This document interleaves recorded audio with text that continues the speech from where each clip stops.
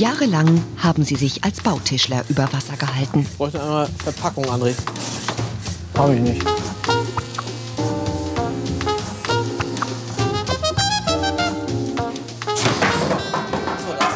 Der geht, so was passiert. Das Einzige ist Platz, Platz, Platz. Ja. Den haben wir nicht. Ich komme hier nicht rein ins Programm. Das liegt immer am Anwender, ne? 550.000 Ferienwohnung. Ja, und wir äh, wollen da nur ein ganz kleines Stück vom Kuchen abhaben.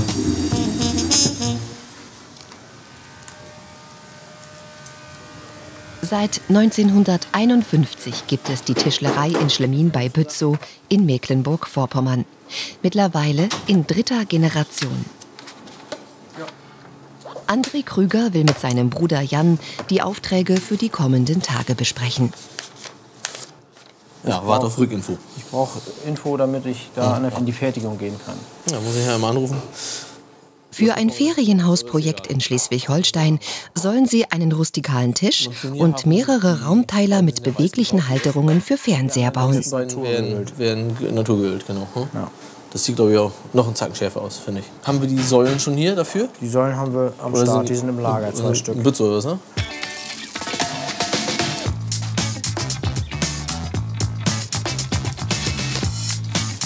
Nebenan ist Geselle René Martens dabei, aus einzelnen Nussbaumhölzern eine Platte für einen Tisch zu verleimen. Mit einer 15 Jahre alten Maschine. Die presst die Hölzer zusammen.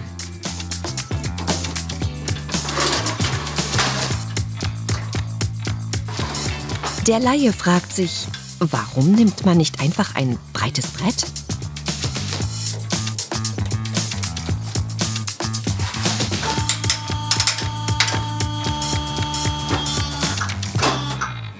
Verzieht sich, das biegt sich. Deswegen werden Streifen geschnitten, dann legt man die auch äh, über Kreuz, dass die Jahresringe immer entgegengesetzt sind. Dann wird es verleimt und dann bleibt es gerade. André Krüger bearbeitet unterdessen eine Baumkante für einen Esstisch. Im Prinzip wird es abgezogen mit dem Zugeisen und äh, ja, es wird per Hand gemacht und danach machen wir es halt nochmal mit dem Bürstenschleifer, dann wird es nochmal gebürstet, jetzt wird es laut. Im Moment fertigen sie fast alle Möbel aus Eichenholz.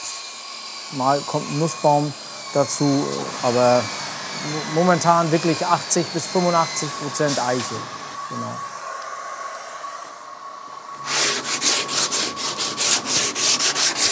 So, und dann wird noch mal getestet mit den zarten Fingerchen, ob der Splitter nicht reinkommt ins, ins Fleisch. Ne? Weil wenn man nachher den Tisch abwischt und mit dem äh, Tuch da drüber wischt, dann äh, ist es nicht so schön, wenn es hacken bleibt. Sein Bruder Jan vermisst ein Bauteil für den Raumteiler. Aber welches? Steven, bei den, äh, der Vorhalterung von, vom Pionierhafen. Einem. Ja, und was war das? Hatte ich dir mal ein Bild geschickt. Ja, vom. Ich habe Also, ja. hab ein neues Handy, ich kann es Okay. nicht mehr sagen. Ich könnte höchstens auf einem alten Handy gucken. Du- wenn du das per Mail geschickt hast, dann habe ich das ja. Per Mail bestimmt nicht. März 23. Kann das sein? Ja, Das hier? ja. Aber was da jetzt genau. Ach so, doch. Die Schrauben, womit du hinten die TV-Halterung anschraubst. Die sind in dem nicht drin. Hm, okay. Die haben Achso, da sind sie drin und da sind sie Genau, nicht drin. das müssen auch diese dünnen sein. Die sind, nur, die sind nur so 2 mm. Okay, ja. Gut, dann gucken wir mal. Das höhenverstellbare Krankenbett haben sie zum ergonomischen Arbeitstisch umgebaut. Hier bespricht André mit Werkstattleiter Guido Wenzel, was für die angestellten Tischler in den nächsten Tagen ansteht. 24 weggelegt? Nee. Doch, gib mal, sind ja zwei, ne? Sind zwei Raumteile. sind beide gleich. Sind beide fast gleich. Wir machen sie gleich. Wir machen sie gleich. Aber wir haben einen Zentimeter Unterschied oder so, ne?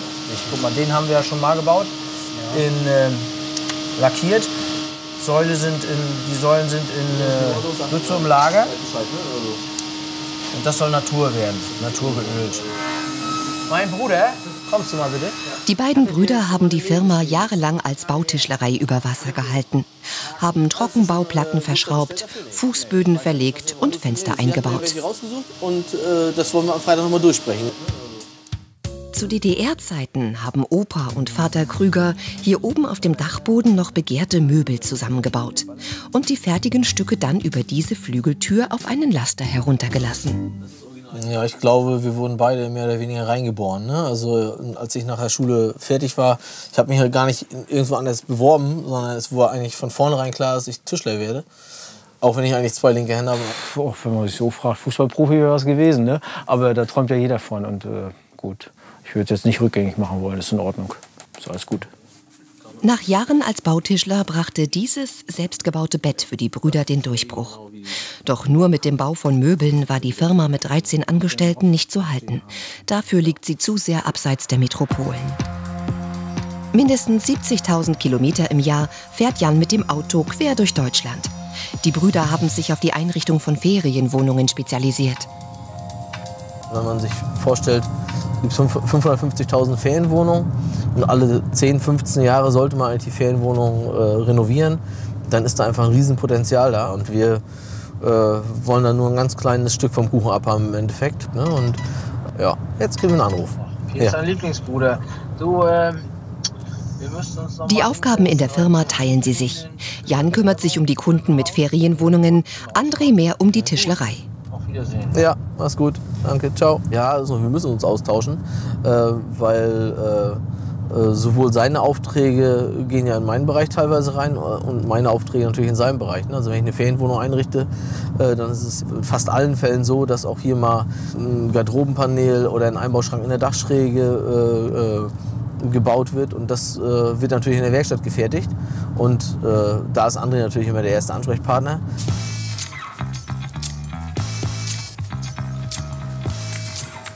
André hat gerade alte Bettbezüge von Mama Krüger geholt, die gegenüber wohnt. Denn zum Wegschmeißen sind sie viel zu schade. Sie werden noch gebraucht. Der massive Esstisch, ein Markenzeichen der Krügers, ist inzwischen fast fertig. Davon bauen sie etwa 20 Stück im Jahr. René ist schon bei den Füßen.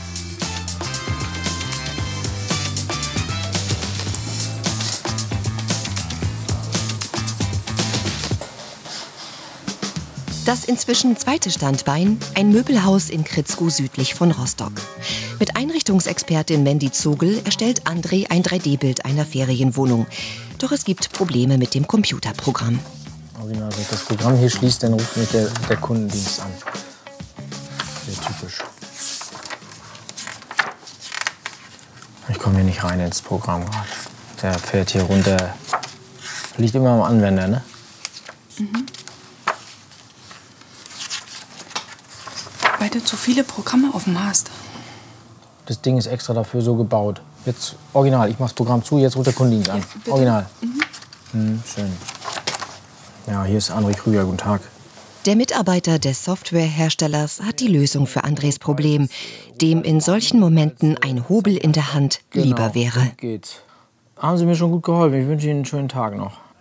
Ja, das war's schon. Ich bin bescheiden. Gut, bis dann. Dankeschön. Tschüss. Gelernt hat André ja, noch, solche Pläne tschüss. mit Bleistift tschüss. auf Millimeterpapier zu zeichnen. Siehste, liegt immer am Anwender. Meine Schuld. Aber jetzt weiß ich, wie es geht. Ich brauche hier eigentlich noch so ein kleines Sideboard oder so eine Art Konsolentisch. Warte mal kurz, ich gucke Kannst du mir das bauen? Ich kann alles bauen, was ich möchte. So, jetzt haben wir Meter zwei ungefähr, plus ja. minus. Und den Schrank würde ich auf 80. Siehst du den Abstand zwischen Schrank und Bett? Sehe ich. Mhm. Achso, du willst ein Maß haben. Ja. Ich sehe ihn, ich sehe ihn auf jeden Fall. Ja. Höhe ändern, Breite. Solche 3D-Visualisierungen werden für die Vermarktung ihrer Möbel immer wichtiger.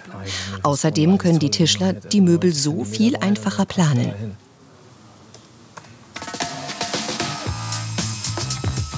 Zurück in der Tischlerwerkstatt in Schlemmin. René Martens fängt mit dem Raumteiler an. Er bringt rohe Eichenbohlen in Form. Kollege Karl Theodor Schulz hobelt sie anschließend. Das werden die Seitenteile und Böden für den massiven Raumteiler samt Fernseher für eine eher kleine Ferienwohnung. Nur die schönsten handgemachten Möbel nützen wenig, wenn die Kunden sie nicht finden, nicht sehen, nicht anfassen können. Jan und André Krüger sind deshalb ein Risiko eingegangen, haben vor ein paar Monaten mitten in Rostock noch ein Geschäft eröffnet. Verkäufer Felix Moritz. André und er kennen sich vom Fußball, Verbandsliga. Und dort wurde auch so etwas Ähnliches wie ein Bewerbungsgespräch geführt.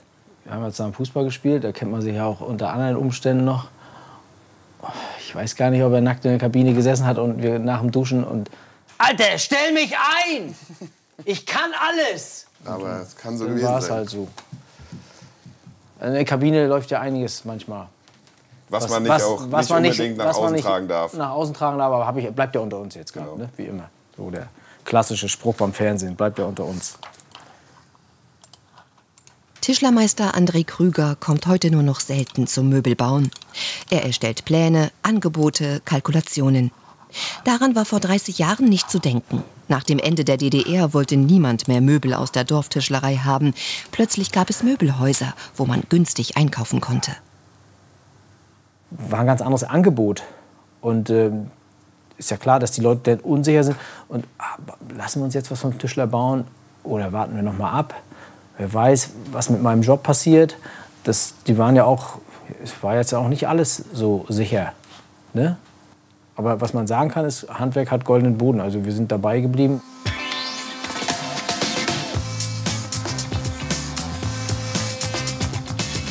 Aber die ersten Jahre waren alles andere als golden.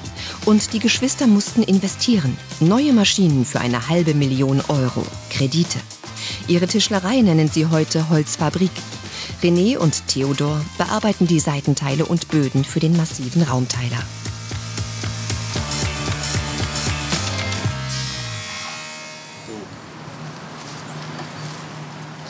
Einer der Firmenlaster voller Bilder. Die Krügers räumen eines ihrer Lager. Es mangelt an Platz. Andererseits zahlen sie inzwischen hohe Mieten für drei Lagerräume in mehreren Kilometern Umkreis. Aber wieso hunderte Bilder? Denn äh, wenn man eine ganze Ferienwohnung einrichtet, dann ist es definitiv so, äh, dass du ja in der Garderobe, im Wohnzimmer, im Schlafzimmer, im Esszimmer äh, eigentlich überall immer einen, einen dekorativen Gegenstand brauchst. Und das sind eben aus unserer Sicht hübsche Bilder. Ne? Und wir haben natürlich auch Uhren und wir haben auch, auch andere Dekorationsgegenstände. Also ich brauche ein Bild, ich glaube 120 in der Breite wäre nicht schlecht. Ja, äh, was mit Segelbooten ist da hinten? Also Segelboot würde dazu passen zum Bett. Ja? Ein weiteres. Lager direkt über der Tischlerei. So, Ich habe hier noch eins, aber das ist eher Das grau. ist, das ist doch gut. Das ist doch viel größer, aber das stört ja, mich das ist auch nicht. mehr Strand. Das ist 1,50, eine gute Idee. guck dir das an. Über das Boxspringbett, das passt. Hellblau, blau habe ich auch drin. Das nehme ich mit. Ah, frei. Okay. Jan holt auch zwei Bilder aus dem Lager. Die hat er im Onlineshop verkauft und sie müssen verschickt werden. Ich bräuchte einmal Verpackung, André. Wie bitte? Einmal Verpackung noch. 1,20 mal 60. Habe ich nicht. Ja. Falsche Antwort. Wir wollen ihn hier hinstellen. Denn. Hier soll er stehen denn. Der Das massive Eichentisch ist so gut wie fertig. Aber noch fehlt etwas. Weiter geht's, sowas passiert. passiert? Das ist das wahre Leben, oder wie was? Geh mal rum, Janida. Zu Theo? Knapp 70 Kilo. Jetzt bloß nicht fallen lassen. Allein das Material ist mehrere hundert Euro wert. Sieht doch gar nicht schlecht aus. Einmal noch mal ölen und dann Ja. ist er wie neu. ja. Äh, Wachs ist noch aus, oder kommt noch, kommt noch Epoxid Nee, ist rein, so, oder soll ist so gewünscht. Das soll so rustikal sein, ist extra. Okay. Ich habe ihm extra die, äh, die Bilder noch vorm Verleihen geschickt. Mhm. Das hat er schon gesehen. Ich hoffe, das Endprodukt gefällt ihm auch so gut. Also ich gehe davon aus. Hier die Kante ist noch zu scharfkantig, finde ich. Komm mal her, fühl mal. Mhm. Du hast auch so eine Nee, Kap Hornhaut auf den Finger. oder so.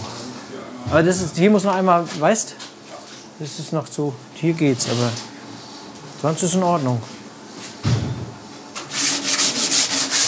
Der muss sowieso noch mal geölt werden, ne? Ja. Gut. René Martens kümmert sich um den Feinschliff. Möbel mit einer sogenannten Baumkante sind die Spezialität der Krüger Brüder. Opa hat immer gesagt, Lehrling, geht rückwärts. So sieht's aus. Die Brüder müssen ein fertiges Lowboard zwischenlagern. Der Kunde ist noch nicht so weit, seine Wohnung nicht rechtzeitig fertig geworden. In der zwölf Kilometer entfernten Kleinstadt Bützow haben sie einen ehemaligen Supermarkt als Lager angemietet. Was ist immer so schwer? Hier lagert die Ausstattung von 32 Ferienwohnungen, die eigentlich längst ausgeliefert sein sollte. Ja, also äh, Rügen, da kommen jetzt äh, Januar der Estrich rein. Dann wird es wahrscheinlich erst Januar im April, April, Mai wird es dann wahrscheinlich erst. Welcher Januar, ja, welches Jahr? Das Einzige ist Platz, Platz, Platz. Ja. Wir haben hier 32 Küchen liegen, wir haben 32 Sofas äh, und äh, Esstische natürlich, Beleuchtung. Also die gesamte, die gesamte äh, Ferienwohnung im Endeffekt, also mit Dekoration, mit allem drum und dran. Und äh, ja, das sind bestimmt also 400.000, 500.000 Euro. Das sind ja auch irgendwie 600 Meter Gardinen. Aber da können wir auch nichts weiter machen jetzt. Erst der Essig drin ist, habe ich die genauen Höhen und dann kann es erst genäht werden. 800 Quadratmeter Lagerfläche, fast ein Jahr lang blockiert. Jeden Monat müssen die Krügers aber 3000 Euro Miete zahlen. Das kann ich aber auch nicht umlegen auf einen, auf einen Bauträger oder dergleichen, weil da hätte ich es vorher im Endeffekt festhalten müssen. Und das wusste ja vor eineinhalb Jahren noch keiner, dass es eben so, äh, dass sich so auswirkt. Ne? Gestiegene Bauzinsen. Ferienwohnungen verkaufen sich im Moment nicht so gut. Anlieferung bitte nur über die Warenrampe. Jan hat inzwischen Verpackungen für die beiden Bilder gefunden. Stehen, ne? Das muss Mario wegschicken. Das sind deine von vom Shop. Ja. André quält sich mit Papierkram. Ich krieg's nicht hin, ich bin zu blöd. Ich muss jedes einzeln ein, einheften hier. Aber die Krügers setzen viel aufs Digitale. Arbeitszeiterpassung wollen wir nicht mehr mit Papier machen. Wir haben extra jetzt Handys gekauft, dass die Jungs sich mobil einwählen können. Dann haben wir den ganzen Schreibkram nicht mehr. Und es geht dann alles per Knopfdruck zum Steuerberater. So ist die Theorie. Einrichtungsberaterin Mandy Zogel. Sie arbeitet daran, dass die Lager der Krügers sich nicht noch mehr füllen. Dazu macht sie den Kunden ihre Einrichtung aus der Ferne schmackhaft. Sie kreiert am Computer ein sogenanntes Moodboard. Ich erstelle für eine Kundin eine Visualisierung, weil die Kundin nicht hier vor Ort sein kann und damit sie sich das vorstellen kann, füge ich quasi die Möbelauswahl zusammen, damit sie sich vorstellen kann, wie ihre Wohnung dann mal eingerichtet wird. Auch das ist Teil des Geschäfts. Moin. Ein Handelsvertreter kommt. Peter Nass kauft und verkauft Ja. Wohnaccessoires. Hallo, Herr Nass. Moin. Schön, dass Sie da sind. Einfach auf den Board stellen, runter. Ne? Man Okay. kann den sozusagen, Drehen wie man noch, ne? will, genau einstellen. Eine Leuchte mit Akkubetrieb will er den Krügers verkaufen. Bei Ferienwohnungen kann ich sowas nicht nehmen, weil Nee, das Ding ist schneller verschwunden als Ich wollte gerade sagen, das wäre dann der berühmte Mitnahmeartikel. Richtig, ne? genau. Ja. Grundsätzlich ein guter Artikel. Im Moment brauche ich es nicht, weil wir immer noch Lager voll haben. Was gut funktioniert, den Kunden quasi fertige Zimmer präsentieren. Ein großer Möbelhersteller hat es vorgemacht. Und die Krügers machen es auch so. Kojen nennen sie die halboffenen Präsentationsräume. Die größte Koje wird gerade umgebaut. Guido Wenzel muss ran. Er arbeitet schon mehr als 30 Jahre für die Krügers.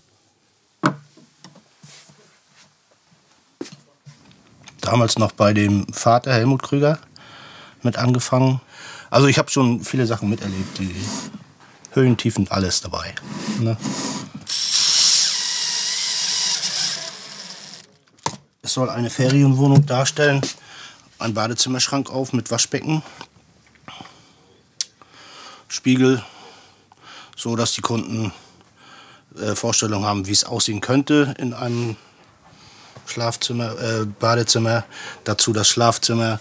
Wir haben eine Küche, dass man insgesamt mal sehen kann, so kann eine Ferienwohnung gestaltet werden.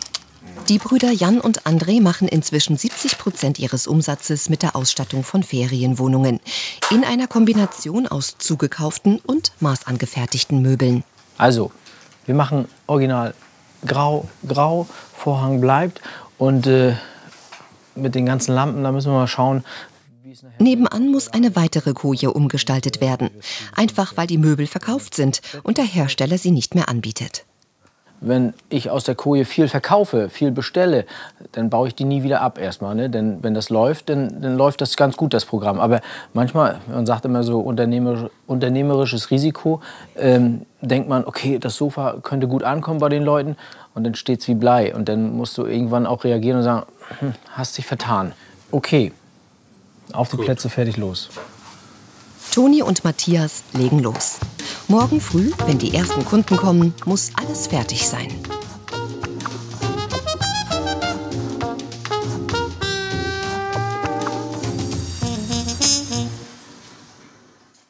Hi Mandy.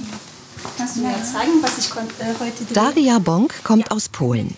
Sie ist erst seit ein paar Monaten im Team. Sie ist für die Firmenauftritte in den sozialen Medien zuständig.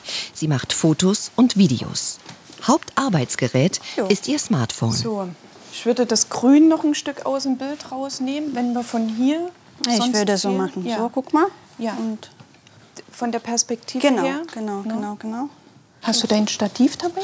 Brauche ich nicht. Wenn ich so, so drehe, ja? dann ist okay. äh, ohne Stativ besser. Dann bin ich wieder vorne, oder? Ja, okay, ja? super, danke. Mm, also ich bin für die Social Media verantwortlich. Meine Aufgabe ist, ähm, Video drehen, Reels machen und dann das ähm, Instagram posten. Und ich kriege immer von unseren Fotografen schon äh, Bilder, äh, zum Beispiel von Holzfabrik oder für die neue Wohnung und dann mache ich einen Post. An die jungen Kunden wollen sie so heran.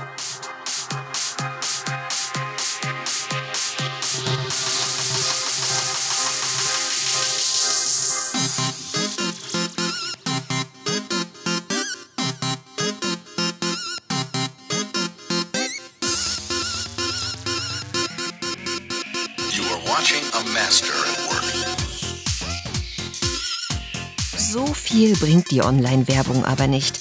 Die Anzahl der Follower hält sich in Grenzen. Haben wir 300. Da ja. ist noch Luft nach oben. Genau, genau, genau. Werkstattleiter Guido sind die neuen Medien egal. Nein, habe ich nichts mit am Hut. Es stört ihn nicht einmal, wenn er gefilmt wird. Das ist es mir auch egal. Ich guck's mir ja nicht an. Jan ist wieder unterwegs. Wenn er Ferienwohnungen neu ausstatten soll, erzählt er oft dasselbe. Damit sich das ändert, hat er jetzt ein Buch geschrieben. Der Titel ist ein typischer Spruch der beiden Brüder. Wenn wir in eine Ferienwohnung reingehen, die runtergerockt ist oder die scheiße aussieht, dann gehen wir meist rein und sagen immer, der erste Spruch ist immer, ist das nicht schön? Ja, das ist nicht schön. Also ist eigentlich mit dem Augenzwinkern gemeint. Das soll einfach ein kleiner Ratgeber sein. Ja, ich hoffe mir einfach davon, dass man dem Eigentümer auch schon was an die Hand gibt, dass er sich im Vorfeld schon darüber Gedanken macht, okay, was braucht mein Gast eigentlich im Endeffekt? Jan fährt nach Schleswig-Holstein. Im beschaulichen Schleswig statten sie gerade 27 Ferienwohnungen aus. In der Tischlerei in Schlemmin bekommt Bruder André Besuch von Mutter Marion, die nebenan wohnt. Was hast du jetzt hier für einen Plan? Ja, Kaffee. Und Kuchen? Ja, ein bisschen was. Hat einer Geburtstag, was verpasst? Jan und André sind die dritte Generation hier. Da kann man sich drüber freuen, wenn das irgendwie weitergeht. In einer Tischlerei, die schon jahrelang besteht. Tischler ist ein guter Beruf. Und ich denke mal, dass die, die Enkelkinder das auch weiterführen wollen. Man weiß es nicht, aber wir wollen es hoffen. Jetzt, wo ich die Tischdecke sehe, wir brauchen noch Lappen zum Ölen. Stoffreste zum Polieren braucht André, denn der neue Eichentisch ist ja noch nicht fertig. Die elterliche Garage haben die Brüder zum Holzlager umfunktioniert. Mit einem Gabelstapler kommt man hier aber nicht rein. Wir sind ja an unsere örtlichen Gegebenheiten ein bisschen gebunden und haben, haben halt ein Platzproblem. Das ist äh, unsere größte Baustelle, sage ich mal so.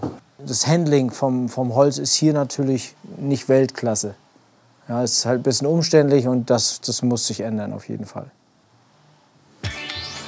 Geselle Steven Lietzau baut mehrere sogenannte stumme Diener, eine Art Garderobenständer. Auch wieder aus Eiche. Die Möbel der Krügers sollen so haltbar sein wie das Holz, aus dem sie gemacht sind.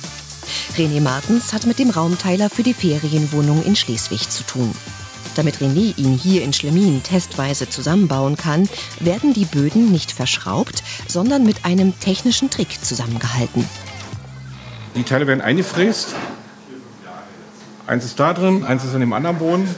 Wenn ich die Böden zusammenstecke, dafür ist das Loch da, komme ich hier in den Imbus drin, kann es zusammenschrauben, dann ist es fest. Ist eine lösbare Verbindung, also ist keine endgültige. Zwei solcher Raumteile haben sie für das Projekt in Schleswig schon gebaut. Jeder kostet etwa 4.500 Euro. Ein 6000 Quadratmeter Grundstück in Neukloster, nah an der Autobahn 20 zwischen Rostock und Wismar. Hier wollen Jan und Andri ihre Platzprobleme lösen. Werkstatt, Lager, Ausstellung wollen sie hier neu bauen. Äh, Neukloster ist hier eigentlich nur 10, 12 Kilometer entfernt von Schlemmin, von, von, von der, unserer jetzigen Produktion. Und wir müssen ja auch unsere Gesellen mitnehmen im Endeffekt. Ne? Also wenn wir jetzt in Rostock gebaut hätten, äh, wäre alles schön gut gewesen, aber wäre kein Geselle hingefahren. Und äh, das war auch ein wichtiges Kriterium. Ne? Einer dieser Gesellen, René Martens, ist bei den letzten Arbeiten am Eichentisch. Die Oberfläche wird geölt. Und dann kommen die Stoffreste ins Spiel. Denn zum Polieren gibt es kaum etwas Besseres. Bis zu 30 Arbeitsstunden stecken in dem Tisch. Dazu 600 Euro Materialkosten. Macht am Ende 2000 Euro für das Stück.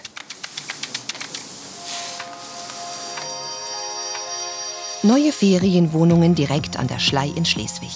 Insgesamt 27 der Wohnungen sollen die Krüger-Brüder hier ausstatten.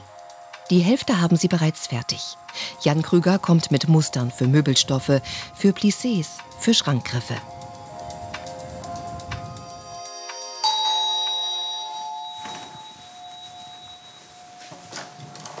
Herr Krüger. Ja, Marie-Louise Lüttmer gehören diese Ferienwohnungen. Ich habe wieder ein bisschen was mitgebracht dass wir noch mal einmal luschern können. Elf Wohnungen haben die Krügers für Sie schon ausgestattet. Bis ins Detail. Schmuckstück ist natürlich der neue rustikale Esstisch. Heute geht es um die endgültige Wunschfarbe für die neuen Raumteiler. Marie-Louise Lüttmer hat lange nach jemandem wie den Krüger-Brüdern gesucht. Klasse. Mhm. Ja, schön. Dann machen wir das so. Und hier sieht man eben ganz schön, dass man ihn auch drehen kann. Ne? Also dass man vom Wohnzimmer und vom Schlafzimmer Fernseh schauen kann. Ja, für so ein kleines Apartment ideal eigentlich. Ja? Also man hat zwei Fliegen mit einer Klappe geschlagen im Endeffekt. Diese Kombination Möbelhaus und Tischler, beides in einer Hand und dann dazu auch noch Deko, dass ich alles in einer Hand hatte. Also einmal die Möbel, die, äh, die Tischlerarbeiten und die Dekoration. Das war natürlich ein unheimlicher Glücksgriff für mich. Und für die Krügers ein guter Auftrag. In ein paar Monaten wollen sie hier fertig sein. Zurück in Mecklenburg-Vorpommern. Das Erbe ihres Großvaters halten Jan und André hier im Möbelhaus in Ehren. Werkzeuge zur Holzbearbeitung aus den 1950er Jahren. Doch Geld verdienen kann man heute damit nicht mehr. Normalerweise hat man einen Strich am Holz und dann schneidet man original immer längs. Und dann aber auch nicht nur 10 cm. Opa hat immer gesagt, du hast das ganze Sägeblatt bezahlt. Die Arbeit der Tischler hat sich seitdem verändert. Nicht nur die Werkzeuge, auch die Preise. Und die handgefertigten massiven Betten der Brüder sind beliebt, aber eben auch recht preisintensiv. Für ein Auto geben die Leute 30, 40, 50.000 Euro aus. Äh, das haben sie meist vier, fünf, sechs Jahre. Und äh, beim Bett sind schon 2000 Euro manchmal zu viel. Ne? Aber im Bett verbringst du einfach mal ein Drittel deiner Lebenszeit. Opa und auch Vater Krüger wären heute sicher stolz, wie die Enkel die Tischlerei weiterentwickelt haben. Das Gebäude in Schlemin bei Bützow passt inzwischen nicht mehr zu den vielen neuen Ideen der Traditionstischlerei. Und so beginnen sie vielleicht noch in diesem Jahr mit dem Neubau. Denn die Brüder setzen weiter auf Holz.